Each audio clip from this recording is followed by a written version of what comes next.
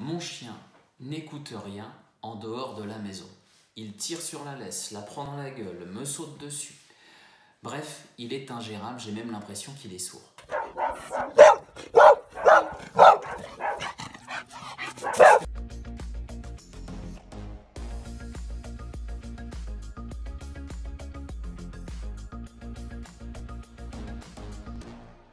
Voilà parfois le discours que certains de nos clients peuvent tenir. Ils se sentent complètement désarmés avec un chien qu'ils n'arrivent plus à gérer dans le quotidien. Pourtant, dans la maison, il semble relativement calme. Comment expliquer ce comportement et surtout comment améliorer la situation? C'est ce que je vais vous expliquer dans cette courte vidéo. Premier point, favoriser un bon apprentissage au calme. Si vous demandez à votre chien de vous obéir en extérieur, de s'asseoir, de se coucher, de ne pas bouger, de marcher en laisse sans tirer, mais que vous n'avez pas pris le temps de lui apprendre ces choses-là dans un contexte plus calme avec moins de stimuli, il est évident que ce sera trop compliqué pour lui de le faire en extérieur. Exigez donc que votre chien s'assoie du premier coup dans la maison, se couche du premier coup aussi, tienne bien le pas bouger. Car ce sera plus dur pour lui de le faire alors qu'il y aura plus de distractions. Si déjà dans la maison, vous laissez passer une obéissance au bout de 2-3 répétitions d'ordre, bah forcément dehors, il se permettra encore plus de répéter. Le deuxième point qui fait que nos chiens parfois pourraient être ingérables en extérieur, c'est que vous ne lui avez pas appris à gérer ses excitations. Comment faire?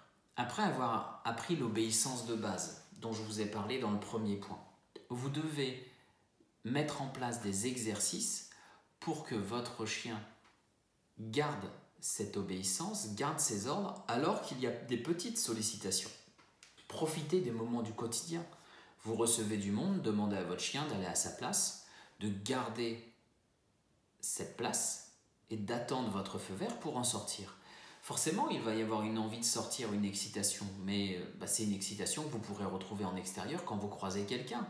Si vous estimez que c'est normal et que votre chien peut arriver directement sur la personne, eh ben, il appliquera la même méthode en extérieur alors que vous serez en laisse. Donc apprenez dans le quotidien à votre chien à gérer ses émotions. Le moment du repas, par exemple, qui arrive au moins une fois par jour, est une excellente occasion d'apprendre à votre chien à gérer la frustration. Le repas arrive, on me demande de m'asseoir, je dois attendre le feu vert pour y aller.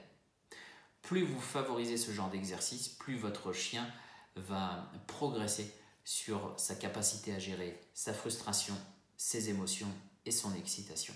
Troisième raison pour laquelle un chien est parfois ingérable en extérieur, ben, c'est qu'en fait, quand il va en extérieur, c'est Disneyland.